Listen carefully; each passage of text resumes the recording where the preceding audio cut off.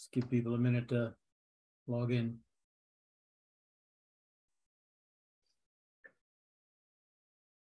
Welcome everyone to the uh, World Power uh, Presents webinar. Just allow one or two more minutes for people to join. Yeah.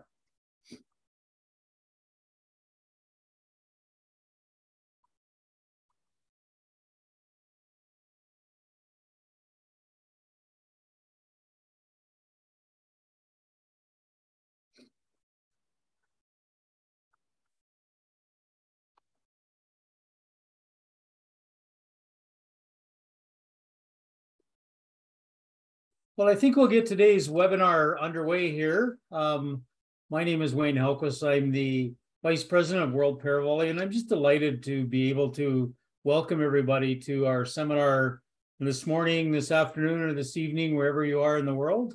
Um, just delighted that we have with us today a, a, very strong list of panelists who will introduce to you in a few moments. But again, this webinar is an important part of our education programs at World Paravolley. And we're just delighted that so many of you have chosen to, uh, to join us today. Um, I know that there'll be some more people joining us as we go, but uh, again, very important that we're able to, uh, to do some of this work. Uh, we are really fortunate to have such qualified panelists today, and I, I want to thank them for agreeing to participate today. Uh, again, I think it's really um, um an important step forward for World Paravolley that we've been able to attract the kind of quality individuals that are involved in putting together these uh, webinars, but also being uh, being resource people for World Paravolley and for our webinars. Uh, one of my very uh, pleasant tasks today is to introduce our moderator for this webinar. Um, I'm so happy to introduce Dr. Kwok Ng, uh, who, who will serve as our moderator uh, throughout uh, this webinar. Uh, Dr. Kwok is the chief historian for World Paravolley and sits on our World Paravolley Research Commission. So he's very actively involved in the work of the organization. Professionally, Kwok is a senior researcher at the University of Limerick and University of Eastern Finland. He is currently the vice president of the International Federation of Adapted Physical Activity and the European Federation of Adapted Physical Activity. Prior to this, he was the Education Lead and Management Council member of the European Network of Young Specialists in Sports Psychology. And Kwok wrote his book on When Sitting is Not Resting, Sitting Volleyball, and helped to and has helped to build World Paravolley e-learning materials. Kwok now lives in Finland and hosts a series of podcasts that cover the history of World Paravolley. And uh, stay tuned or look out for more podcasts coming in the future. So, Kwok, thank you once again for your leadership um, with these webinar series. And uh, with that, I'll turn it over to you to uh, to moderate and get our session underway here today.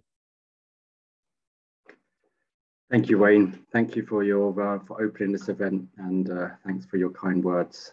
Um, uh, it's, it's, a real pleasure to to be uh, moderating this session, and I would like to welcome everybody in attendance here for uh, in, in this webinar. So this is the second World Paravolley Presents webinar in the series of mental health and performance. This really is a follow-up from the first webinar where we discussed issues around uh, the, the idea of the inside edge on mental health, where we had an amazing presentation by Dr. Debbie Alexander. We also had stories shared by Greg Stewart and Elvira Stinissen uh, on their transitions in sport and life before we had a panel discussion. So that can be watched on, uh, on, on, on demand recording as well as with this as well. So I would just like to give some um, housekeeping rules in that you're welcome to, to provide questions and to chat using the chat uh, function that we have on this Zoom uh, webinar. Uh, you can also raise your hand if you want to ask the question verbally. And if you were to do that, uh, we would then have some of the backroom staff to, to communicate with you in the chat to uh, follow up with your requests to, to, to speak.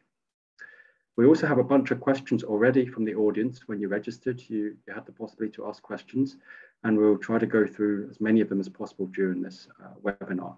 as well as with a series of questions that we have lined up. This session will last about 90 minutes and, um, and this will be mainly comprised of conversations, sharing experiences and informal learning about mental performance. Um, and, and, um, and so uh, the webinar is recorded and at the end, you'll be asked to complete an evaluation form, which we would invite and encourage you to complete. So without further ado, I'd like to start to introduce our panelists. Uh, we have one expert on mental performance, we have one athlete, and we have two coaches. I'd like to introduce uh, Dr. Christian Zepp, Jürgen Schrapp, Bill Hamiter, and Greg Walker. Dr. Christian Zepp studied sports sciences at the German Sports University in Cologne. After working as the national team coach for the standing volleyball in Cambodia and working with Formula One as well as rally race car drivers, came back to the German Sports University in Cologne to earn his doctoral degree in the field of sports psychology. Today, he is working as a lecturer at the Institute of Psychology at the German Sports University Cologne and works with national and international athletes, teams, coaches, federations, as well as companies and special forces as a sports psychology professional. We're really, really uh, um, privileged to have him um, on our webinar.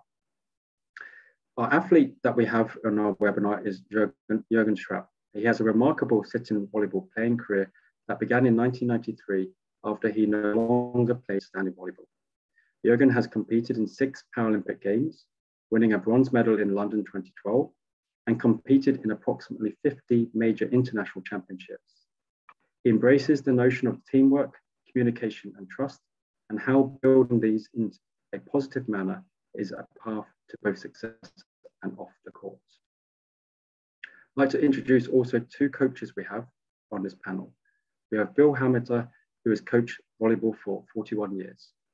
He has coached sitting volleyball since 2001 serving as USA men's head coach, women's head coach, and program director.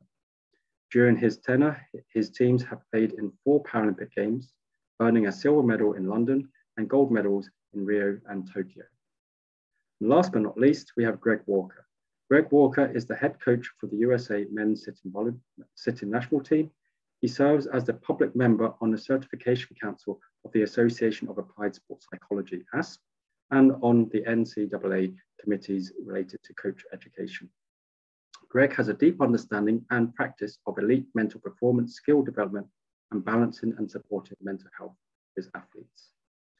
I'd like to thank you all for coming together to discuss this important topic of mental performance um, on and around the court from knowledge to practice.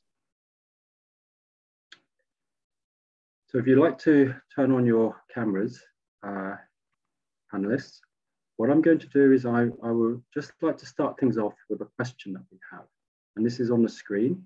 And I'll hold it on the screen just for a, a few seconds, uh, just to let you to, to get yourself warmed up. And, um, and, and then we'll, we'll make this as conversational and informal as, as possible. Um, and so the first question I'd like to direct uh, to Christian, who can maybe lead this, is what stresses are you, um, sorry, not what stresses, how, how have you observed changes in how to deal with mental performance during your career? First of all, thank you for the invitation and uh, thank you for the, the nice introduction right now. Um, and it's uh, it's an honor to be here in that uh, round of uh, experienced people speaking about my passion, uh, sports psychology and mental performance um, today. So yeah, what, what has changed regarding um, mental performance during uh, my career? I think um, it's that um, we are more away from um, uh, only solving problems. Um, it's more about being prepared enough. From my personal career, during one of my uh, or during two of my most important competitions, um, in triathlon and in standing volleyball, I wasn't prepared for some of the problems that occurred. Um, and that showed me just uh, how important it is to finally be prepared, even for those unlikely things that can happen during a during a competition. And that um, also showed me that it that it's um, not only being prepared for situation A, B, or C, but being prepared for situation A, B, and C helps you also to, to be prepared for situation X, Y, and Z that you didn't think about because you can apply the strategies that you have developed for A, B, and C to others that you didn't didn't come up with in the first place. And um, that basically has changed a lot because um, the um, knowing about the importance of mental performance, knowing about the importance of the mental side of the game um, has changed the approach that I've taken. And ultimately, the approach that I am taking today with the athletes and coaches in various sports. And I really hope that uh, this helps um, some of the athletes and some of the coaches um, to show better performances, not only mental performances, but especially physical performances, athletic performances. Thank you. Thank you, Christian. Could I also ask the same question um, also over to Jürgen as well? Yeah, welcome everyone also from my side. I'm happy to hear that, question. Actually, I had to learn this from experience. Uh, I would have loved to have coaches like you 25 years ago. I guess uh, with the experience I have, I have practically gone through a lot of situations and by that pre be prepared for a lot of situations for future matches. But I, I like the approach. I think it's, it's very, very helpful to think this through. Um, and it's especially helpful to be prepared for such situations as a team and not just as individuals. How do you actually react as team um, to certain situations which come up? So I, I definitely support that approach. For me personally, it was gaining it through experience. Excellent. Um, and how about Bill? Would you like to talk about how have you observed changes in mental performance sure. during your career? Yeah, um, to me, I, would look at it kind of in the same vein, but maybe a little bit different. Um, like you said, I've been coaching a long time, so quite a few changes in um, uh, the discipline of sports psychology and how, as a coach, I should be able to handle or talk to players in uh, different elements of the game or whatever. So I think it's very important to stay up with uh, current uh, sports psychology trends and the data and new information that's coming out because I think it's a ever developing area. So simple things like me. So let's just take like serving. Um, used to when I first started, they I was told, all right, when somebody's serving and they're questioning the serve or whatever, just have them um, repeat in their mind the steps they should take. So, like, um, you know, toss the ball to the shoulder, swing through, or whatever.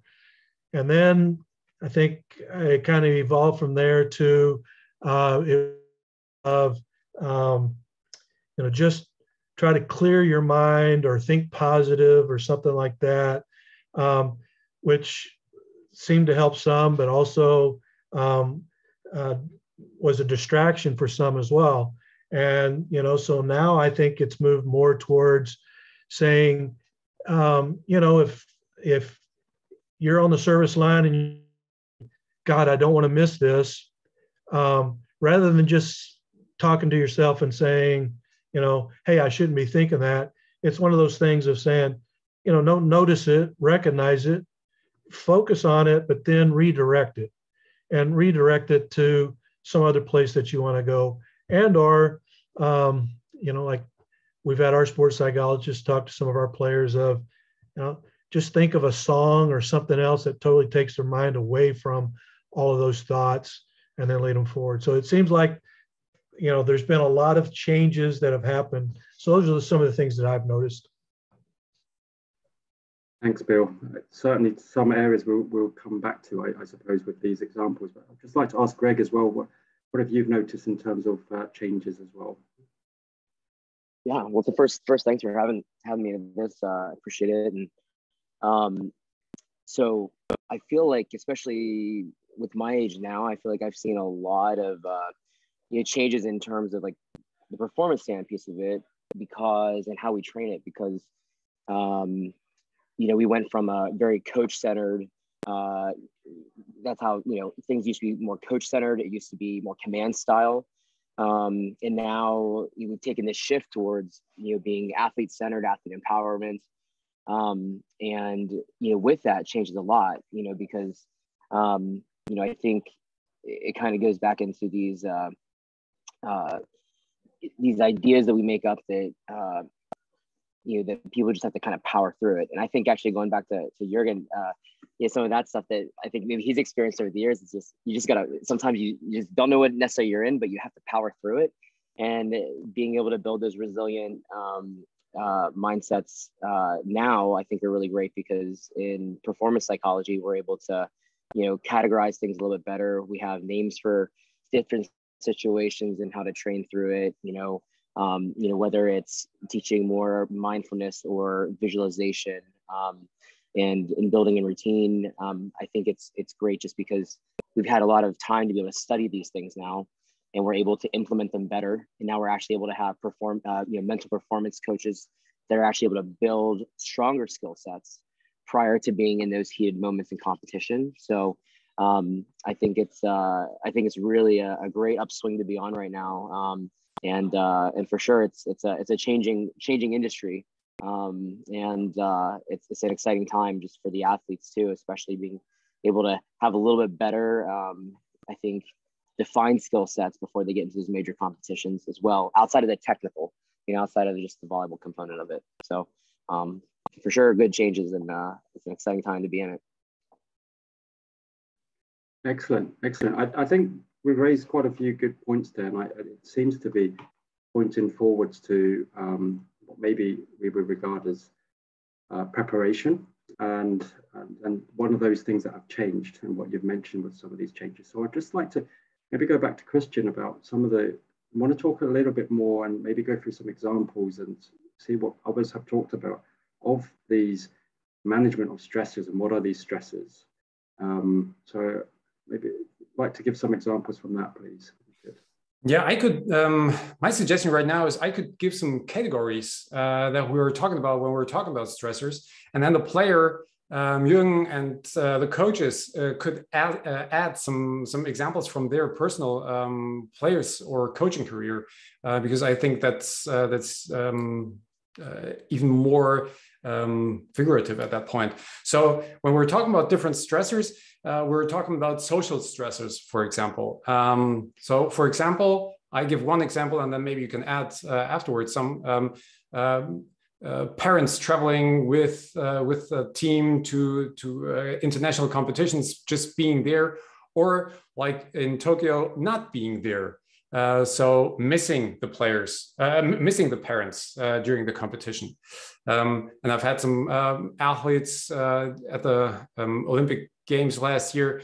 They said, well, it's just a relief that my parents aren't there. And others said, well, now I have to explain my father that he can't use his uh, um, air airplane ticket to join me. And he was really eager to come there. So different stressor at that point. Then we're talking about psychological stressors, um, uh, emotions that are coming up uh, prior to competition or maybe during a competition. Um, we've had that example. Um, Bill uh, just uh, um, gave the example from during the surf uh, or prior to the surf. What goes through my mind? Um, do I feel the pressure there I'm putting on myself, or maybe others are putting on me? Physical um, physical stressors are different, uh, definitely there um, maybe related to the disabilities uh, that individual players have, uh, or simply back pain, just or not feeling fit enough because um, players don't have the uh, impression that they trained well over the past couple of years. And then obviously there are also uh, some environmental stressors. If we're looking back to the past two years, um, there's, for example, um, the COVID restrictions, playing inside a bubble, um, not being able to leave the hotel um, or maybe the organization, the overall organization of the competition uh, in and of itself. So we're having social stressors, um, psychological stressors, physical stressors, and, and, environmental stressors. And if we know that, we can then directly uh, try to see, all right, what is it that we can do with those stressors? And maybe the coaches uh, or Jürgen, um, they have some examples from themselves, uh, what stressors they experienced um, related to those categories. I can give it a go and I pick one. I mean, it's the one in, the match. I mean, where Bill talked about the service, and and uh, you also said what's the stresses in the match. I think volleyball is a brutal game in that regard if you compare it with some other sports because we have points and decisions every moment of the game, and and that's different in a soccer game or so. Um, so therefore, I think there's always a mistake game. There will always be a mistake at the end of every rally, and for sure, then at the end of every set, it seems to become more important. But actually, it's it's always important. And what helped me throughout all the time, and Bill talked a bit about trends.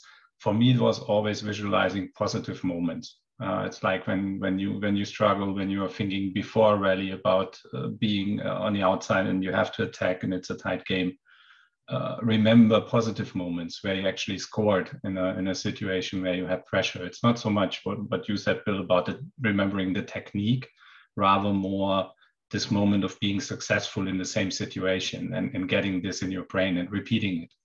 Uh, because we are always at the borderline, I think, in the match between this fear of losing and playing to win.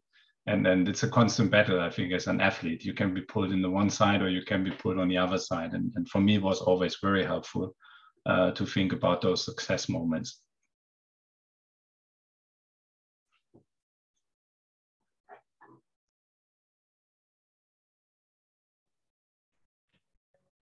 I could probably talk some about all those different areas because um, definitely, you know, from the social side of it, um, I think there were in Tokyo, you know, we really had to face the whole empty stand syndrome, you know, and so you have to self motivate and can't depend on stand, you know, people in the stands.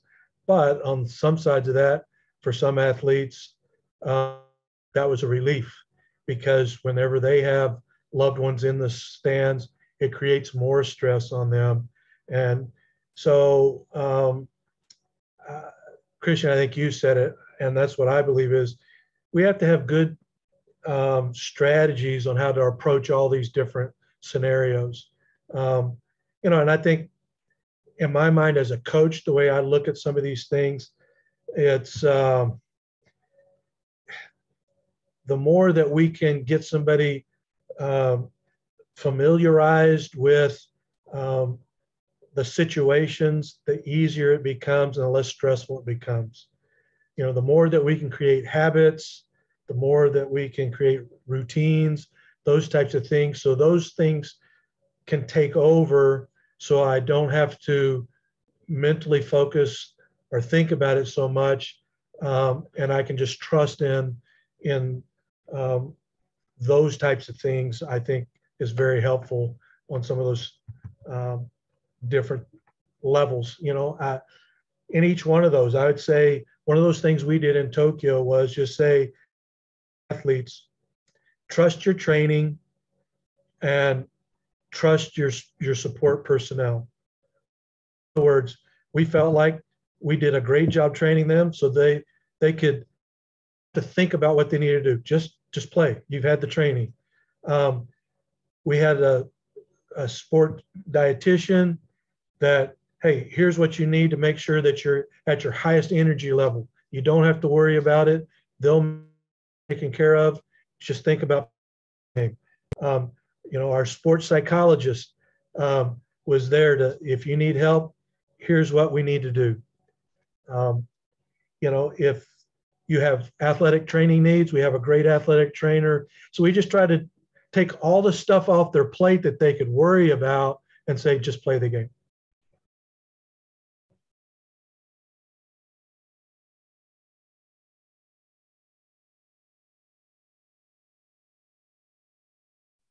Greg, would you have anything to add, add to that? I think that sounds a formidable system that you have, Bill. Greg, you had Um, I mean, everyone kind of covered a little bit of the, you know, the psychological stressors, especially during competition. Um, from, I'd say from the preparation standpoint, um, you want to put, you know, I think as a staff, you know, or coaches, you want to put your athletes in positions that they can recall upon those moments um, when those pressures start, uh, you know, building up in, in matches more. So um, you know, uh, Bill just said, you know, use the phrase, you know, trust your training. And, uh, you know, I think that's really, really important, especially whenever, you know, you have all the extra stressors here. So, you know, I think there's a lot of every athlete has different factors, you know, um, in terms of there's the, you know, social stressors that could be impacted in competition. Um, and, uh, you know, assuming that everyone else, the, the, physical stressors, you know, you're fresh and you're ready and you're not as fatigued, uh, you know, when you get in those big moments, um, you know, knowing that you can, you know, put an out of system play away, um, knowing that you can hit uh, hit well against maybe a mismatch block, um, you're recalling on those important times or even opportunities to close out sets um, is is really important. So, um, but for sure, those uh, the stressors can be, you know, learned you know, learn how to deal with them a little bit more whenever you're um, you're practicing uh, you're practicing truly the way you're you're expected to play in competition. Uh, I think that's you know I think uh, especially high performing teams that's what you're trying to create is creating a competitive environment and, and those factors so you can learn uh, learn how to deal with the those environmental stresses a little bit better. So.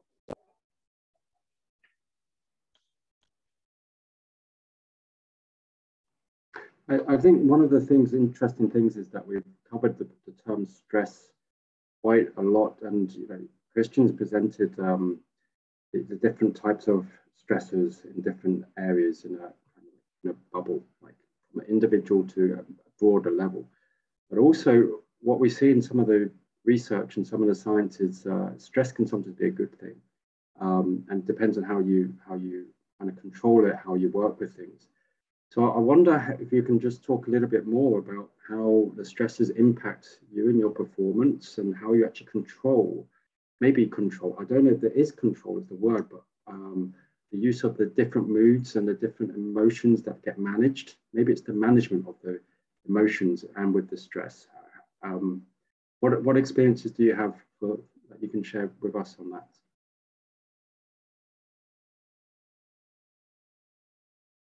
And I'm go I'm gonna like leave it open for Bill. You've got you're unmuted, so you can go first, and then we'll go from there. Oh, that's it. I'll take a swing at it. Um, you know, I, I think um,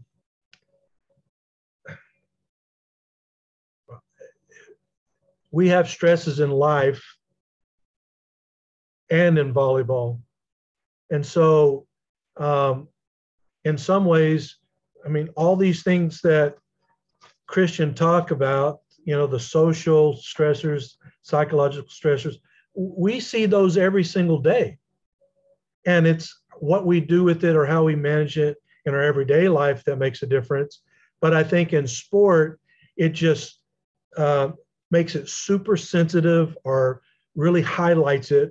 And so it's really more pronounced for us. But, you know, um, I don't know about the other presenters, but you know, when I am presenting, I get a little stressed out about it. Do I have the information that I need? You know, how am I going to do this? And it's all self-imposed stress, right? So I have to learn, all right, what are the I need to rephrase that. What are the good things that can come out of this? What what can I add to it and look at it in a different way as well? And so I think I try to look at those stressors like that and just go, um, you know, what can we do to try to learn from everyday life, present them into the sport, and then try to help within the sport so that it can help in everyday life as well. I mean, that may be an oversimplification, but to me, that that's kind of how I try to look at it. You know, and it's when you get frustrated, what is it that you're going to do? Because we don't just get frustrated in volleyball, we get frustrated in life as well. Thanks, bro. Yeah, I think the, the, for me always the positive element with, with, with volleyball is then it's a team sport and you're not alone. And uh, as said, I think stress as such is positive because actually it just makes you gaining attention and, and understanding that, that you're at a higher activity level generally. It's then just how you can direct the stress, um, as uh, as has been said before, and and that's I think is so crucial in team sport that this notion of momentum and and you have individual momentums and you have a team momentum and I think when when someone is not at the peak and and turns to the to the negative side of stress there's always the chance for the team to pull him or her back. Uh, and that is, uh, I think, a huge, huge uh, benefit of team sports. Uh, but that is also why it's so important that you are truly a team. Uh, because if people then don't use the power of having positive energy, energy to pull back people who are at their low level at the moment, you're not really a team. Uh, if everyone's competing for himself, herself, it's very different than everyone competing as a team. If I remember in 2012, we won the bronze medal, but actually in the in the quarterfinals, we were back uh, zero to two sets against China. And if we would have started as a team to just feel miserable, uh, there were most likely a lot of people who felt very miserable, but we all still had some guys who were at the positive side, who scored and, and, and pulled the others back. And we kept together as a team and helped each other. And then the momentum turned the other way around and we won this game 3 2. I think that is the that is so important in uh, in in volleyball that that we are really clear about this power of a team to pull people back and to switch the momentum again to use the stress in a positive way and not in a negative way. I, I think um, there are some very important aspects that uh, both Bill and Jürgen just uh, raised. Uh, I'm just starting with uh, Jürgen's uh, points, um, which is uh, the, the importance of the team. So the team can put more pressure and mo more stress on the player, um, but can help to relieve stress from the player as well. Um, different sport. Um, in uh, 2016, um, in soccer, Real Madrid was playing uh, the third year in a row in the Champions League final. And um, Marcelo afterwards gave a uh, gave an interview, and he said, "I was so stressed, I was so scared um, uh, prior to the game, and I really didn't know how to play the game. And then Cristiano Ronaldo came from the from the restroom and just walked through the locker room and he said, "Well, guys, are you as scared as I am right now?" And that took a lot of pressure from Marcelo and the rest of the team because they saw even Cristiano Ronaldo is scared. Even he has pressure. Even he is, is experiencing forms of stress. And that is important that I am not alone with that. Um, I am part of a team and everyone here is stressed. And not only on my side of the net, but also on the other side of the net. Others are stressed as well. It's not me having those problems exclusively. And then um, the uh, uh, aspect that uh, that Bill said uh, regarding the stress um, is basically what I just said, and I try I try to combine that uh, with what uh, Jürgen said because th there is relief. There has to be um, support from others from the outside. And then one other uh, thing that uh, Bill brought up a couple of minutes ago was the different approach today on how to uh, deal with the different forms of stress. So there's um, emotional stress, maybe, maybe I have cognitive stress, maybe I'm unable to concentrate during the game. Um, maybe I need to go to the restroom um, again and again, uh, which is just a typical stress reaction. And how do I deal with all of that? And how do I deal with all those thoughts coming up to my mind? And that is um, basically not exclusively, well, just think positive, which it has been a couple of years ago, try to focus on the positive aspects, etc., etc. It's also accepting that that is what my mind just does. Our head, our mind is just like a popcorn machine. That's the metaphor that I always use. Um, you can't stop a, uh, a, popcorn machine once it's uh, hot enough and there's corn in it. And our mind just produces thoughts just as a popcorn machine produces popcorn. And we just have to accept that, that those negative thoughts might come up from time to time. And acceptance at that point is one of the most important things that we can learn as, now I'm uh, closing the circle to Bill, as always in life um, life informs volleyball, volleyball informs life. And if we are able to deal with all those negative thoughts in life and accept that those thoughts are coming, it helps us also to have that habit once we're in training, on the court, during competition, etc. So it's not about thinking about sports psychology as something that's exclusively important to sports and competition and training, but rather something that is um, personality development for life, which helps in sports as well.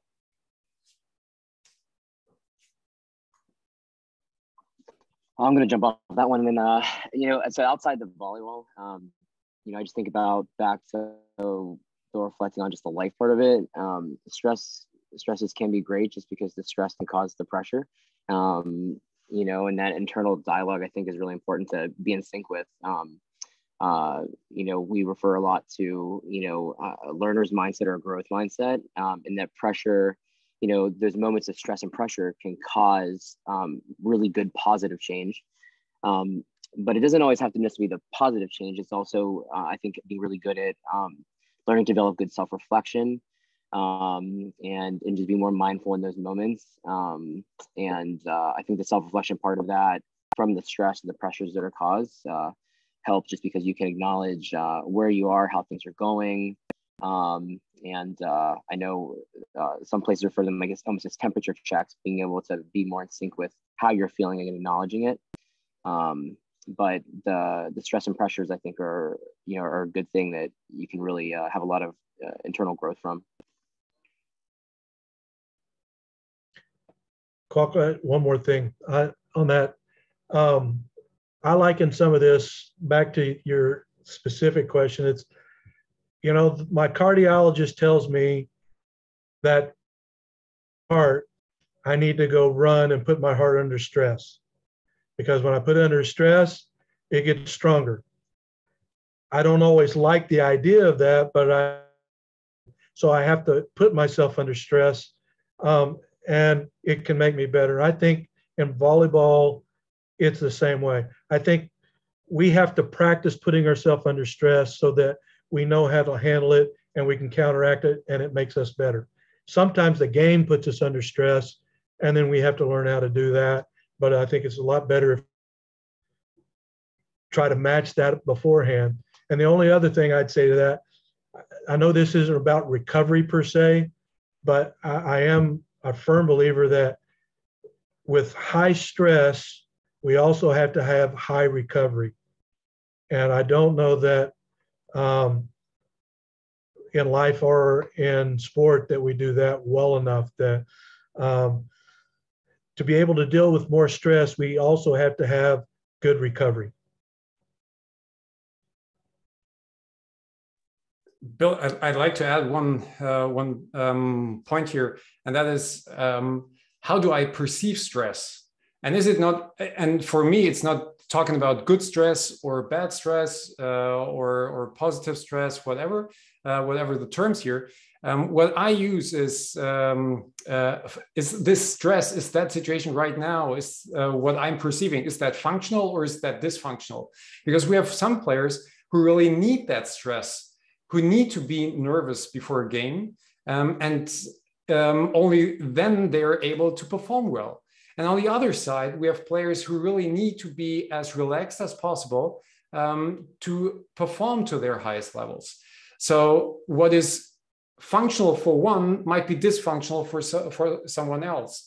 Um, and thus, I think it's, um, it's appropriate to talk about functionality and dysfunctionality instead of um, positive or negative, or is that good for me or whatever.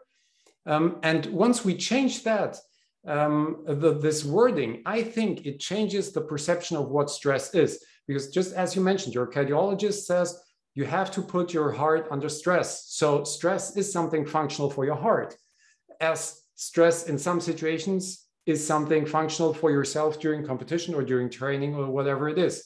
So we have to talk about the perception and our attitude towards stress because stress can be something that is functional, something helpful for a life and for volleyball as well.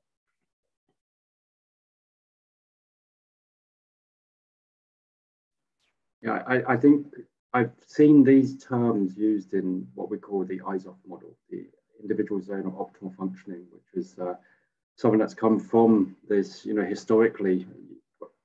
maybe I don't need to go through it, but I'll just talk about it briefly in terms of the inverted U, in terms of anxiety leading to stress, and then having individual levels of where that anxiety stress is and then leading to understanding different types of um, optimal functioning and then understanding with your emotions their functions whether they are functional or dysfunctional and it's a it's a really good uh, really good area to, to look into in terms of the emotions and and the management of that from Yuri Hanin um, uh, and actually, that's one of the reasons why, why I, I, moved to Finland is because I got a chance to to be in the same institute as Yuri Hanin. So it's uh, it, it is something that um, I'm, I'm glad that you're talking about this because I'm, I'm just buzzing with, with enthusiasm of, of what you're, you're, you're talking about as well. And um, and and I, and and this perception thing is one thing that I suppose it's it, it's how do you how do you get to that situation of asking is this through the reflection that Greg is mentioning? Is it through just the experience that the players are, you, you have from what uh, Jürgen said? Is it about how you compose yourself in life? How do you get that to, to find, how do you get to that realization of, of, um, of perceived, your perceptions of stress? Yeah, I, I, like the way Christian put it. It's, it's super simple to, to, to follow that logic. Um, I mean, at the end, this also at the same time shows how difficult it is to interact as a team. Uh, because you also have to know what is functional for the one player might be dysfunctional for the other. So for some for some players on the pitch, it's actually good uh, to put even more pressure to wake them up, to shake them up in certain situations, and for others, it it would be the um, the worst thing to do.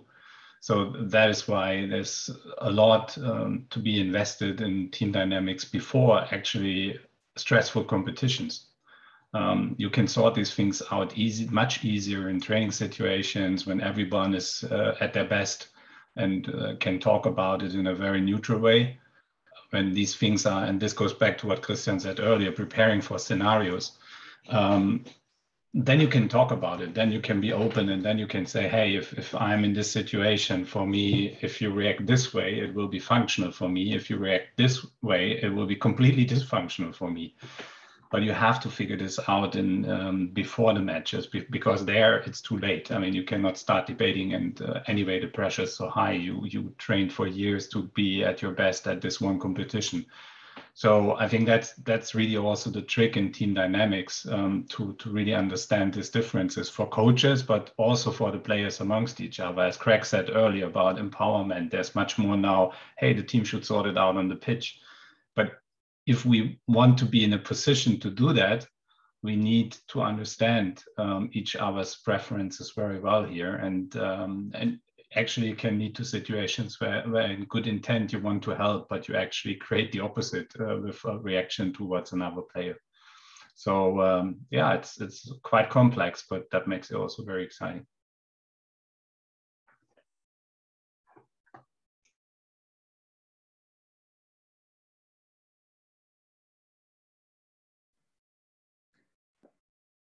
I think going on to the, if I bring a more practical kind of question in relation to that because I, I, think it, it's still you know it is so complex with a team sport with individuals as you say that um, that someone can be making a person's fun, um, performance dysfunctional. So I, I, don't know in if you would like to share some experiences of how you felt you've done a good session training wise to get a better understanding of that to understand these individual differences so you can work together so you know how how you're you know the athlete the player you're playing with next to or when you're speaking to that player how to tap into to to to make them activated in a way that's um, optimizing their function and, and, their performance should i say. Uh, um, maybe you have some drills that you could share. I'm sure the audience would like to hear hear some top secrets that you might have of how you do this or how you how you've experienced it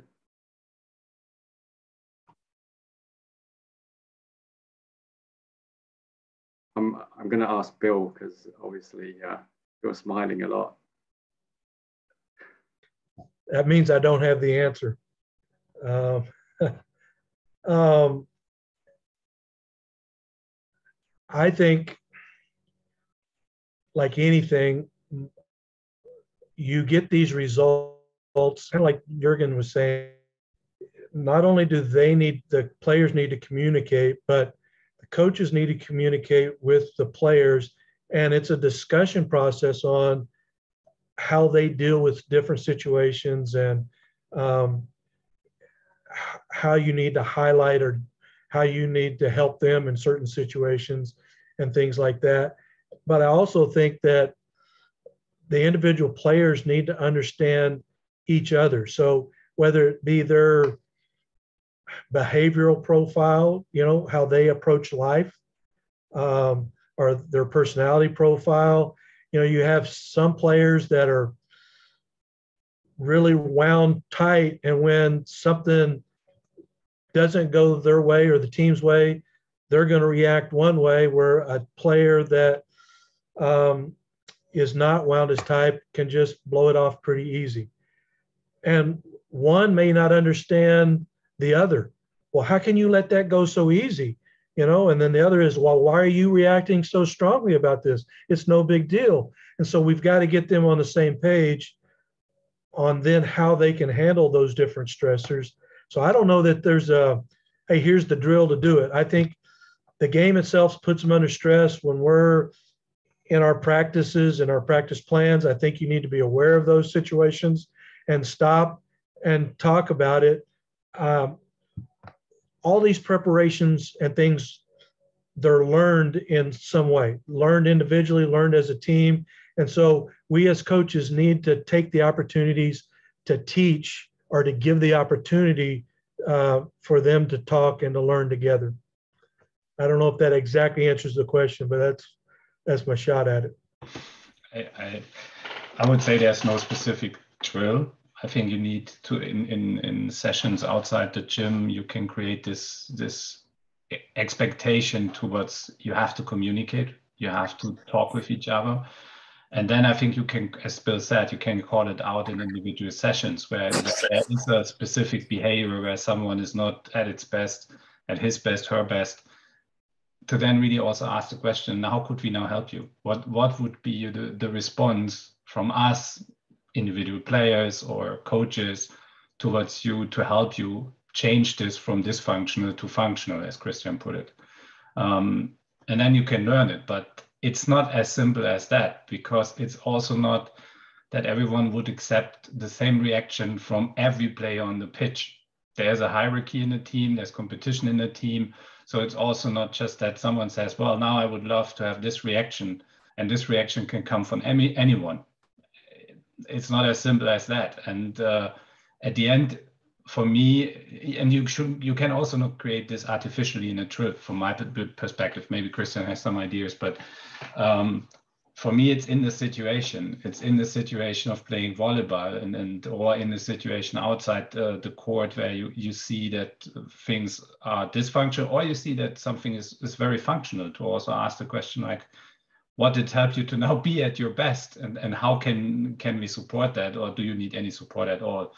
Um, it is really this this climate of openness and exchange uh, within the team and, and sometimes just also the coaches from the outside calling the moment out and then having a reflection on that and, and stopping the, the practical drill and going into the into personal level. Um, I would totally agree here with uh, with Jürgen and Bill. Um, it's all about developing a culture uh, inside the team, uh, a culture of openness, and that it's okay to talk about one's own weaknesses, uh, maybe, and talk about uh, one's uh, own um, uh, stressors that one one's perceiving and experiencing, and um, that a clear communication is necessary in order to help each each individual player to cope with those stressors. Then.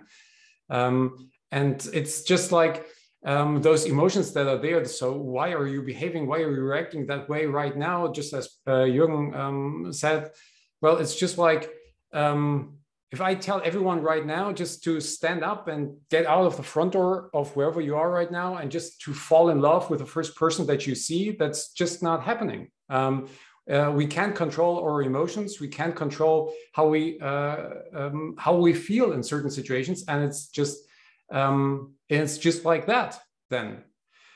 And it's okay to feel like you feel in any given moment. If you're sad then it's okay that you're sad. If you're happy it's okay that you're happy. If you're upset it's okay that you're upset. But then ultimately it's important how do you react in that situation? Do i react instantly or do i give myself some space and think about how do i want to react right now and do it then and that is also part of the culture. So it's a team aspect. but it's also an individual aspect that athletes have to learn individually, but not only on the court and not only around the court, but in life.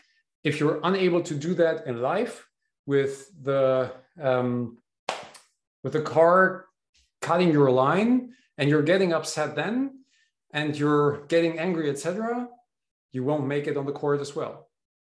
Um, so it's about accepting the emotions and practicing how to cope with stressors outside of sports. That's what I firmly believe. Yeah, there's uh, there's uh, there's no magical drill. I can tell you that. Um, uh, I think I think over the last couple years, you know, I think uh, uh, as time's gone on, I, I really kind of bought into like, I think honestly, we have to just be more human. You know, vulnerability requires connection. You know, it's kind of like just going up to a stranger, uh, just like Christian saying, like, "Hey, trust me." It's like it's just not something that that that people are really apt to do. Um, so, you know, it's all about in these team cultures. Um, you know, I know the word culture has been brought up, or you know, the the concept of you know not playing for yourself, playing for each other. You know that people we want people supporting people, right? And and I think that's um, you know, I think when we talk about the, the factors that can create good or bad performances or how one impacts another, um, I know Bill talked about it, right? Knowing how knowing how people can learn, uh, knowing what their learning style is, you know, whether it's doing more with you know personality or disc assessment, um, and just learning how each other's personality also works with each other. I think is really important. Um, yeah, because once you figure out how your athletes or each other work with you know, it's no different than coworkers, even family members, you know, learning how they respond to pressure and stress, um, learning how, you know, they respond maybe after big moments. Um, I know we have athletes that, you know, they, you know, when big moments happen, they, you know, they're, they're, they go, they're, they're really, you know, up there with their energy.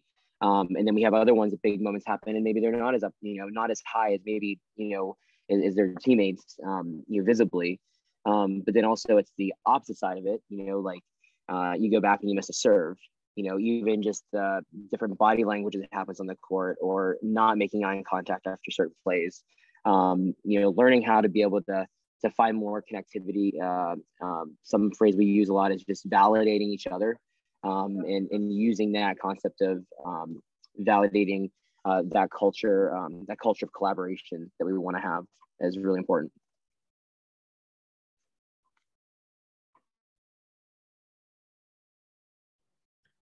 I, I don't think we can, as coaches anyway, I don't think that we can control moods. We can try to create a culture, we can try to create standards or whatever, but as coaches, we're really responding to moods of players. And then we either have to respond to ask them to change a mood or adjust a mood or in some way try to deal with that, you know, and or wherever they are emotionally. Um, and you know, sometimes the best thing I can do for a player that comes in to a practice and they're just emotionally wiped out is not to be so hard on them, but to just try to really feed their emotional bank account to build them up. So I think it's up to me to kind of know where those players are at so that I can deal with all those different situations. But I definitely don't think I can control those moods of, of the players. I, would like to add uh, to that, uh, Bill, um, because you're not only responsible um, for for the mood, but even not for um, for the motivation of your athletes. Um, you can create a climate in which um, athletes are maybe having a good mood because they enjoy coming to your training. Um, but you're not responsible, you're not able to control it. What we are as coaches or as those who are working with other people, um, what we are responsible for is for the motivational climate that we create so that people can motivate themselves, so that people can um, calm themselves down if possible. I think in some situations we have to detach from that um, thought that we are responsible for everything in the life of the athlete on the other side. Um, we can create a climate, but whatever the athlete on the other side does is his or her um, duty at that point. Um, so it's not only the mood, it's also the motivation, what I what I believe and what I've seen at least in the past, and also the theory or the, the, the research shows that the motivational climate is far more important, a positive motivational climate is far more important than uh, anything else inside a sport.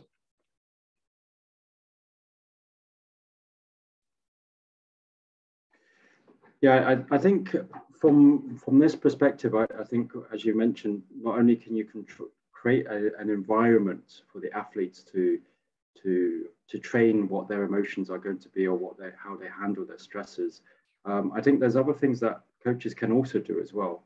So um, we have a question about how you how you might be able to practice mental performance in training. Now, early on when we talked about what has changed, we heard some things about uh, some of the techniques that I used, um, and that has to time, whether basic performance things of like self-talk or um, or how to control that, how to get routines, um, some aspects of potential like mindfulness as well.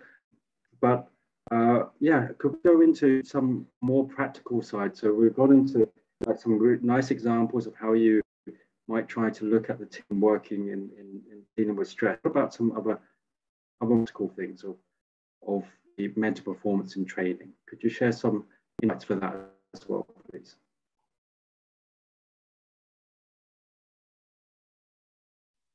Well, I can give it a go. I think there's there's two different aspects. You need you need to have a mental performance for every drill in the training. You need to be at some level, but then there's also the challenge of simulating the stress level of a competition, of an important competition. And um, again, coming back to the point of Christian preparing for scenarios, um, you need to find ways to create stress levels of this nature also in practice session because you cannot train the whole year in a nice and, and friendly mood and then once a year you go to the world championships or the european championships and there off you go and, and people are for the first time really exposed to that stress which as we have discussed earlier has a different impact on different players. But if they have not had this this uh, exposure before for sure it's very difficult for them to handle the situation. So I'm always a big fan of creating this, situations like making practice games very important, putting out some stress factors like penalties or whatever. Um, because yeah, you, you have to practice these situations and um, you need to create those moments also in, in uh, practice sessions before you actually go to the important competition.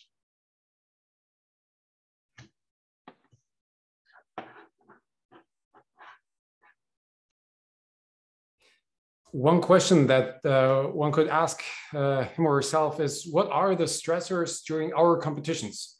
Uh, is it very loud? Uh, is it very quiet? Um, all right. So it's it's very loud. So maybe i uh, put some uh, very loud music into the training hall and and practice then. So i try to put some stress some heavy metal music put some um, musical um, auditory stress on the athletes. So that could be one one way to do it. For example, if you see that it's uh, the physical uh, side of the game, so it's physical stress that athletes are experiencing, um, you may want to um, uh, create a very intensive training first and do the practice and the, and the training game, game at the at the very end. Um, if you see it's the psychological stressors that are important to athletes, you try to look at that in that direction, or if it's the social stressors, you try to look into that direction. So that shows, I think, I think that shows how important the theory is that you know what categories are there,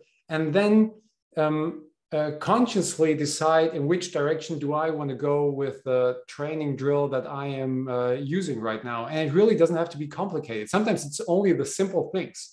Um, sometimes it's the uh, training match um, and uh, you're playing um, one, one team uh, invites the other team for a dinner um, if that's uh, appropriate here however um, adding to jürgen it's really difficult to create the stress level um, you're perceiving during a competition inside a training match. Um, it's it's almost impossible. However, you can try to uh, create such uh, such stress, stressors. Or what you can do is, you know, you have that uh, player who has problem serving, um, and uh, you're putting exactly that stress on that player. Uh, so, um, how many of the next ten serves are you putting into the court? And then the player decides, well, I'm making eight out of ten, and what what happens if you're uh, making it less than eight? And then he or she decides uh, what the consequences are, or the team decides, which puts a different um, uh, a different flavor uh, to that uh, uh, to that training drill then maybe.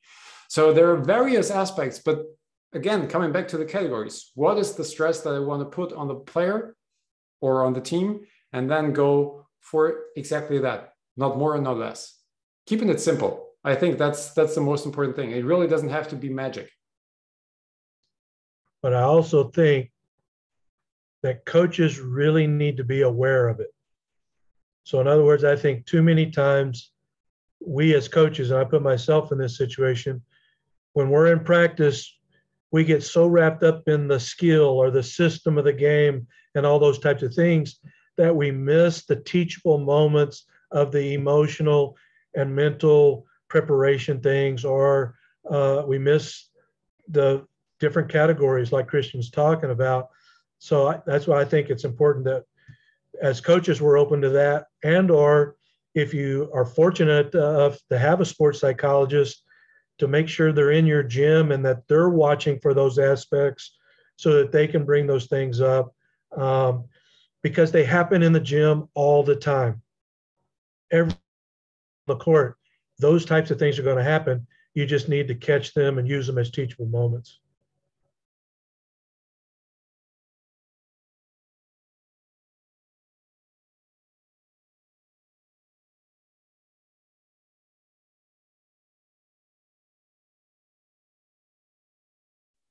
Oh, was that Greg? Were you trying to unmute yourself there?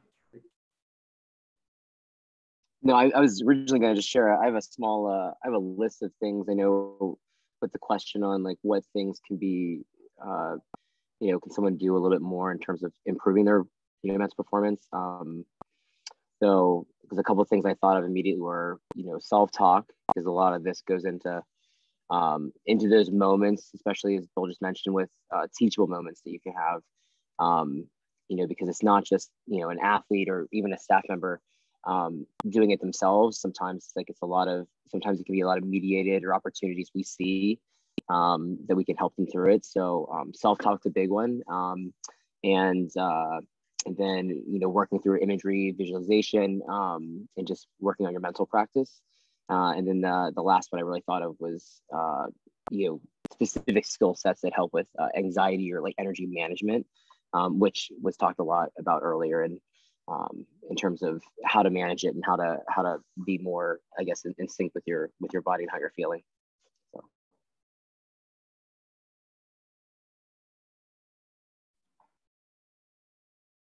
yeah I, I when you mentioned some of these things what comes to my mind is um, is a measure we used to use to find out the level of preparedness athletes might have in regards to their mental skills and this was uh, one particular measure which was called TOPS. I don't know if you're familiar with that. It was uh, um, so. So I, for me, I, I would. I'm. I'm now wondering whether you you actively practice evaluating the athletes through scales, or are you using more of the other approaches, which uh, to help you reinforce your knowledge of where the athletes are at?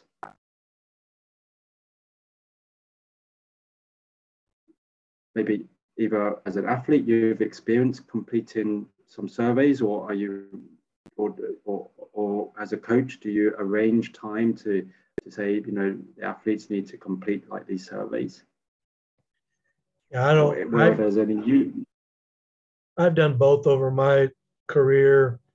I probably lean more towards the self-recognizing so the player needs to recognize and understand where they're at, along with the coaches, um, and begin to, if you've got to get into a rating type of system, just know where they kind of put that um, as opposed to trying to take a standardized test and some of those types of things. Um, I mean, I think both can be good, but that's probably the way I lean now over my career is, uh, you know, just trying to work with those individual athletes where they're at and those self recognition.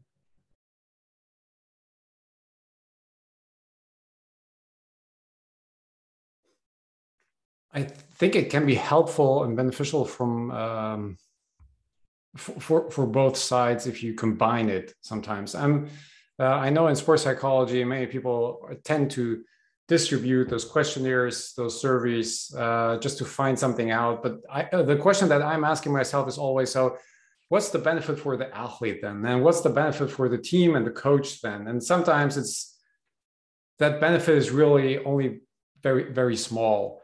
Um, I think, uh, just as Bill um, put it, um, combining maybe the personal recognition of or the, the self-reflection the athlete does for himself or even the coach um, the perception of the, this athlete that's in front of me combining that reflection with the survey and, th- and, and then having a basis and so to speak objective uh, basis to discuss certain topics together with the athlete can be beneficial but using that uh, those uh, questionnaires exclusively i think um, uh, al- although there's a scientific uh, part of me saying well christian don't say that uh, it's surveys and questionnaires are not really helpful to the to elite sports um, if, if you use them exclusively.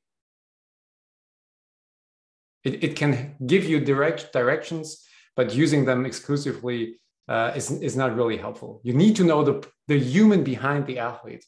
That's a phrase that I always use. And if you don't have that human behind the athlete, the numbers, the graphics, they don't help. My, my opinion. Fully agree. And it's, it's like with many things we have talked before, athletes also react very different to being confronted with results of such surveys. There are some people take it in and and and, and like it and, uh, and praise it and, and make it part of their change, and others like push it away. So yeah, I, I like that statement. You need to know the human behind the athlete. And I think one thing which is also there, and especially in disabled sport, especially in Germany, as all of our players are not professionals, you also always have to manage the time you have with the team. Um, there's um, there's a physical element, uh, there's uh, the technique, the team technique, there's the gym, weightlifting stuff, athletics, and then you are on the mental level. And I think as a coach, I mean, putting looking to Bill and Craig, I guess this is this is also always what you have to balance. And and the difficulty is especially I think with the mental mental stuff, it is very dangerous to start and, and discontinue and start and discontinue. I mean, there needs to be really a clear path, and you need to to complete it out and get somewhere uh, with that um, and to to balance this with the other priorities which is well which system do i play who plays where and how can i develop the technical skills of every individual athlete and the team is a huge challenge. Um, i think it's a bit easier in, in, in, in, professional sports as you have more time available. I think in at least in germany with the time we have together as a team is limited. We always have to balance those dimensions and, and see where we can gain most out of.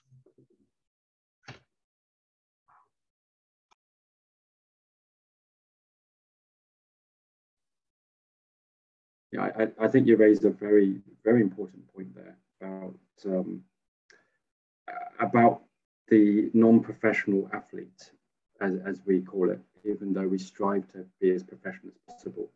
Um, I can, if I'd like, I'd like to go back to just one of the tips that Bill mentioned earlier, which was about recovery, the importance of recovery. And there are certain kind of techniques that we can use to help with recovery as well, um, whether it's aided by like biofeedback or whether you use kind of meditation or mindfulness or something. Um, could you share some experiences about uh, about that, whether you use some some assisted tools like biofeedback and whether they the effectiveness of them for um, you know, uh, elite but non-professional athletes like uh, in, in we have in power sports um, as well as the um, the use of other techniques as well to help with recovery. Have you, have you tried any, um, do you have a, like they call it the blue room in Chelsea. Chelsea Football Club has a blue room. I mean, they're a blue team, but they have a blue room and they have this every all the football players go down there and they just lie there for half an hour or something like this, one hour, um, to re, you know, work themselves. Phil? I, I just, I think you need to look at every player as an individual. So just as I'm not going to tell every one of my players to prepare for a match, this is what you do. I want them to have a per, you know, personal match preparation protocol. And it's something that they do over and over to get them ready to play. Um, you know, some of them like loud music, some of them don't like any music, some of them like soft mu- music. You know, some just want to chit chat. What they all get themselves ready the way that they need to. They need to understand themselves that way. I think recovery is the same thing. Some people uh, can have a mental recovery by getting um, a massage. It helps them physically, but it's also going to help them mentally to recover as well. Um, you know, some people just need some time off and time away. Um, you know, some people want to actually talk about it hey, do you remember when such and such happened? And so that's the way that they kind of deal and recover and move on as well. So, well, I think there's a lot of approaches there that you could look at. Um, I don't know that we need to be, we, we just need to expose all the tools to the players and not be dictating to them, in my opinion. Uh, I would say this right off of what Bill said about the the personal preparation prior to high performance. Um, something that I was able to take from our indoor team. Um, our USA men's coach John Speraw, was doing. Uh, he did a little bit of stuff with a, an app called uh, called Headspace, and you know a, a, company out of Southern California. And so it was really big on like meditation and mindfulness, and um, and so you know, we were able, with a lot of feedback from the athletes, um, you know, they really appreciated us being able to help give them tools to be able to kind of enter into that that space um, uh, a little bit more deliberately, and uh, you know, where we could, you know, in practice, be be talking to them specifically about being in those moments and and what what that meant to them. Um, however, uh, you know, like everyone has their social battery. Some have longer batteries than others, and um, for us, uh, we realized that some of our athletes, you know, it was it was the opposite effect in terms of you know if we continued to to go down a, uh, down the road with like using an app all the time. So, so you know we had some that continued to use it privately on their own. We had some that you know, did other things. Um, you know, Bill hit on that. You know, each athlete's different, and each of them have different needs and different um, comfortabilities in terms of preparation. Um, and so, uh, I think for us, the biggest part was is just really introducing tools that they could use um, and and helping them be able to find something that works for them to have them prepared and and, and focus for for those big moments.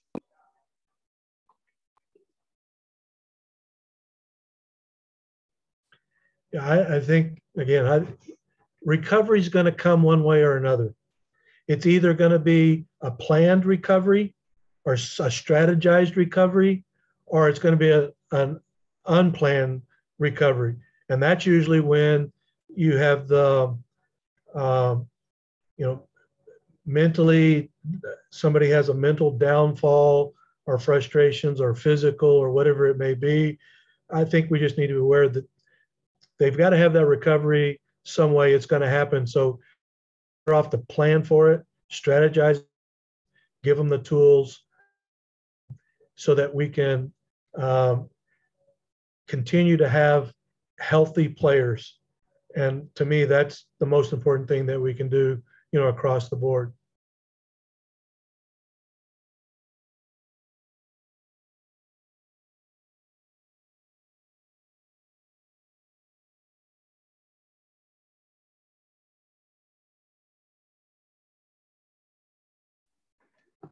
Yeah, thanks. So I think this individualized approach is is a very interesting one. Um, have you had any experience uh, either as a player or trying to use it, or as a coach, or even with the uh, sports psychology in, in using things like biofeedback? Is that something that they still do these days? I, I don't I don't really know. Um, maybe Christian, you, you might. Yeah. So so for biofeedback, it's um, I'm not using that a lot, but I have some colleagues who are using that for slow paced breathing, um, for example. Uh, they're using apps um, uh, for that. Um, uh, but uh, actually, my approach is to detach from the technology at that point um, because technology is not always um, accessible sometimes. Um, but my breath, for example, is always accessible.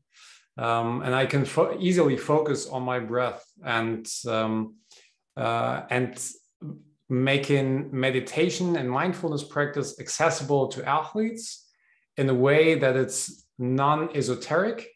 Uh, I think is, uh, is is a is a good way to help them with their personal recovery in in different uh, contexts of their lives. So some people I know, some people are still using biofeedback uh, because it's it's really helpful. Um, for my personal practice, I can say I'm I'm not using that um, uh, frequently. Sounds good. Any other experiences behind that? Jürgen, you want to no. Okay. No, I, I, I would again echo what Bill said. I think it's offering the tools. I think as co- as coaches, you can you can be closer to to theory, to science, and then offer the tools to the players, and people can test and try what suits them. And um, at the same time, I think we are in team sports. I think we still have to accept that we cannot make everything individual. Yeah, there needs to also be a willingness uh, of the team to do some things together, even though the one or the other might not be 100% convinced by something. I think it's always this fine line of uh, we cannot do everything individual. We have to make compromises as a team. And, and when do you allow for individualism and when do you huddle the team together and do the same thing. So, but that I think generally, I think it's it's great to offer two different tools and and people choose and and and make make the right thing for themselves because that's that's what you at the end really want. You want everyone to be at its his or her best.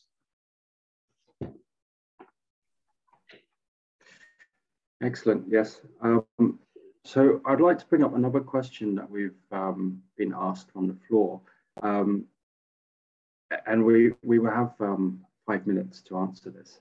So um, it, it's about whether you find if you've had a chance to work in mental training with athletes with and without disabilities, um, whether you find there's any distinct differences that you'd like to highlight and you'd like to share uh, with us. So we, we can go around or whoever's the quick fire on the unmute button, they can go ahead and chat first.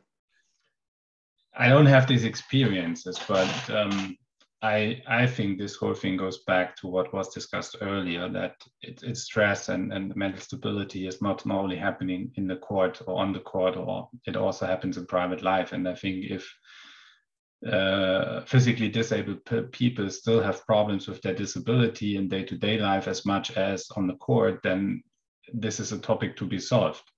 Um, but that's also that able-bodied people can have certain problems with themselves, which they carry. So I, I would say generally I would answer this question with no, there's no difference. At the end of the day, it's finding out uh, what uh, makes someone uh, stressed out, dysfunctional, as Christian called it, uh, and work on this. And and it has to be then in sync for private matters, as and then it for sure will also be the same on the court.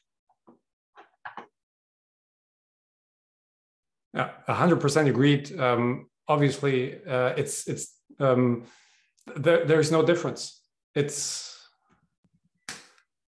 well, we're we're all human beings uh, with different abilities uh, but it's basic if i do visualization with with an able-bodied athlete or a disabled athlete it really doesn't matter.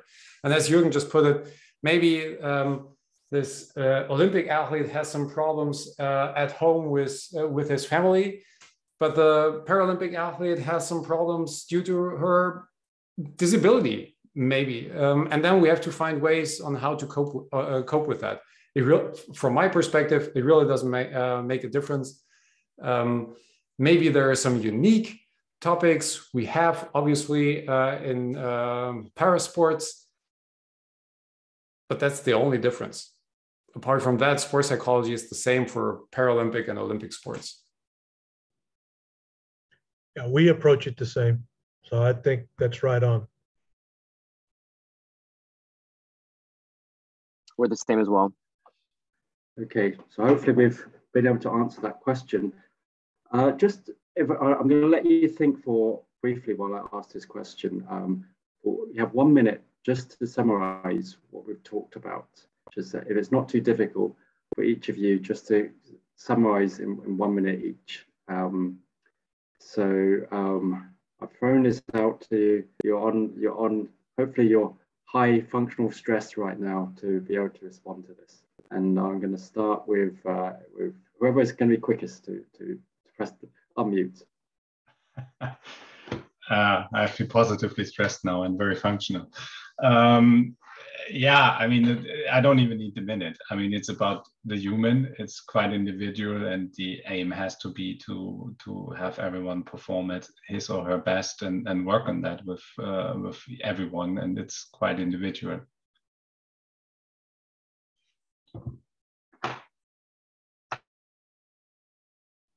I just I'm just in line with uh, Jürgen. Um, for me personally um, and professionally, it's always about the human behind the athlete here in that case, or behind the coach if we're talking about Bill and Greg, uh, because we're we shouldn't forget the coaches. Um, uh, we've been talking about athletes all the time and how they are stressed, but it's always about the human behind the person in front of us. Um, and if they are not feeling well and if they are stressed, um, they are not able to perform well no matter if you're a coach or the athlete. Um, and so the number one priority is that you're able to cope with uh, with the stress, that you're able to be present in the present moment, um, and that you accept whatever is happening right now, um, and that you develop a positive relationship, a functional relationship with stress, because stress can be helpful and is something helpful in many, many situations. And we need stress in order to perform well.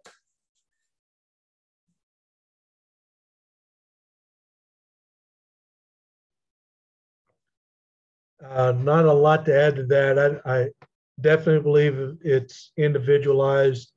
We need to give coaches and players the tools uh, to deal with that. Um, I'd say we need to make sure that everybody has a strategy. So they have to have a strategy to deal with it. We can't just say, um, "We'll just deal with it," or um, uh, "It'll just happen," or we got to help them have a strategy. Um, and maybe one of the biggest strategies um, is just to say they've got to learn how to flush it. In other words, sometimes the best thing they can do is just let it go. How can you let it go? Flush it so then you can get back in the moment and do what you need to do. Um, so, seeking for the proper balance that the individual athlete needs is, I think, what it's all about.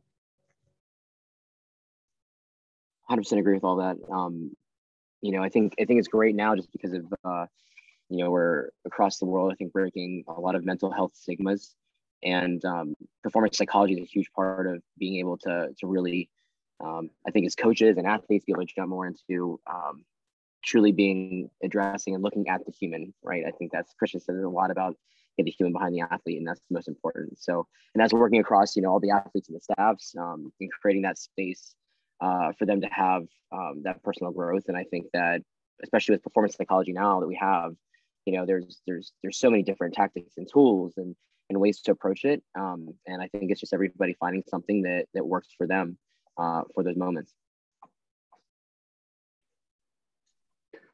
Okay, thank you. Thank you for your last few words on this. Um, it's uh, certainly lots to take home by um, with, with regards to to to to your advice and your experience and sharing some of some of these issues. I think we've got a good common themes coming up from this in terms of the individualizations, the recognizing stress and having strategies as well.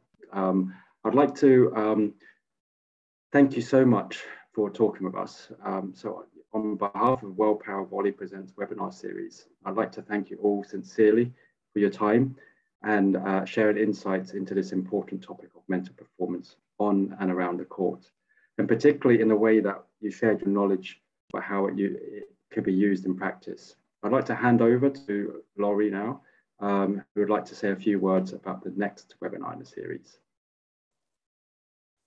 Great, thank you everybody. And thank you um, to the panel. I, am really enjoying these webinars, not only as somebody involved in World Paravolley, um, but also just as a person who's interested in the expert opinions, um, especially from the panelists we've had today. Um, it's my pleasure to moderate the next uh, uh, webinar um, regarding safeguarding in sport. And we are very fortunate to have uh, with us on that panel um, a survivor from the volleyball community. Her name is Sarah Powers from the United States, who is now a coach and club director, and as I mentioned, is a survivor of um, sexual abuse as a, as a minor. Um, we will also be joined by the chair of Safe Sport International, Anne Tiivas, uh, who is a 25 year plus uh, professional in the area of child and protective services, and she's based out of the UK. Uh, and we'll also be joined by Phil Doorgachurn, also a very expert, um, uh, has a very expert career in child protective services, safeguarding, particularly with youth sport organizations. He is the acting CEO of the YMCA in Australia. And rounding out our panel to give us the facts and the figures and the, the scientific research, um, especially in the area of parasport uh, athletes, is Dr. Yetsa Tuakli-Wosornu from Yale University uh, and the Sports Equity Lab. And she'll be sharing with us some of the findings she did on uh, a few past research projects, one that was presented at the Rio Paralympics, but also some new research projects that she's been working on, particularly regarding assistive technology and um, and how para athletes in particular uh, can be vulnerable to, uh, to safeguarding and require um, very unique uh, trauma informed training um, for assistance. So I hope you'll join us for the next panel. I want to send it back to Kwok. And again, thank you so much for everyone uh, who's, who's actually been on the last few panels. Um, a, pre, a preview thank you to our panelists for safeguarding. And I'm looking forward to that conversation, which will happen in late September. Thank you, Laurie. Thanks for uh, mentioning about this. Um, so just, uh, just a couple more things there. I'd just like to thank everyone for your attention, your cooperation, and the discussions we had over the last 90 minutes. Um, I'd like to thank the back room, the media support, the Scientific Research Commission, Medical Director Louise, the Sport Director Laurie, and the General Manager Phil for supporting this event. Um, if you'd like to see more webinars, feel free to contact the Research Commission with your ideas. Um, and please spend a few moments to complete the short evaluation form after you leave the session. And that should pop up straight away after you end the uh, leave the session. So I'd like to just say a good day, a good evening, and good night, wherever you may be, and have a pleasant time until the next time. Thank you.